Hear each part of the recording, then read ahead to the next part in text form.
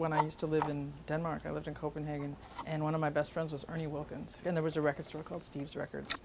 And we would hang out there and do things that jazz musicians do during the day just drink coffee and smoke some things and um, listen to records.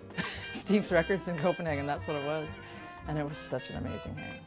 So, on that note, I'm going to try and do Ernie justice by pulling out some really slick stuff. This is the one with Flintstones on it. And then he has this really kind of a little too much bongos perhaps on, but somewhere over the rainbow. It's a little over over bongoed, but it's still so beautiful. And that was this is the record that I grew up with first. This is my very first Clark Terry record. And when I went to see him, it was like my very first rock concert, and I started crying. Professor Jive! He was so not Jive. One of my dear, dear, dear, dear mentors.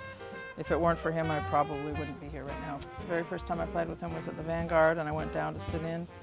I didn't want to sit in because I was really nervous, and Clark didn't want me to sit in because he didn't know me. and um, so the rest is really seriously history from that point. It was just me sitting in on a Saturday night at the Vanguard when nobody knew me, and um, right after I finished playing, he just gave me a big hug and and everything that happened after that in my career had a lot to do with him really pushing me forward.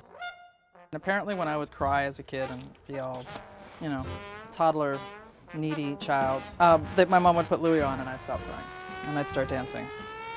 So that's probably why she kept buying those records.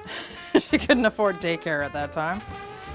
Um, yeah, there's. I have a ton of amazing records that I was able to just take for granted as a kid growing up listening to. Now I have them in my house and I crank them. My daughter dances to them. A nice tradition my mom had was at dinner time that we were three girls in the house and each, every third night, I got to pick a record to put on during dinner. And that's, that was our tradition. No radio, no TV, just spinning albums. With my daughter, I'm going to do this tonight. We're going to listen to On the Road, Count Basie, and Orchestra. Splanky! Wind Machine, classics. Splanky? Splanky. I mean, what a name, right? And it sounds like that.